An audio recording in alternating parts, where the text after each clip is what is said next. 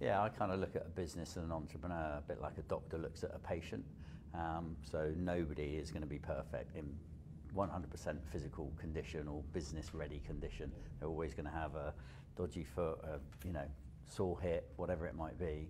And I think great angel investors actually spot where the weaknesses are, focus on the strengths. Um, and there's an old saying, you know, if you focus on your weaknesses, you just end up with a lot of well-developed weaknesses. You know, it's like asking a fish to climb a tree. So for me, when we look at businesses, it's actually what are the strengths. Some entrepreneurs are amazing at brand and creativity or building a team.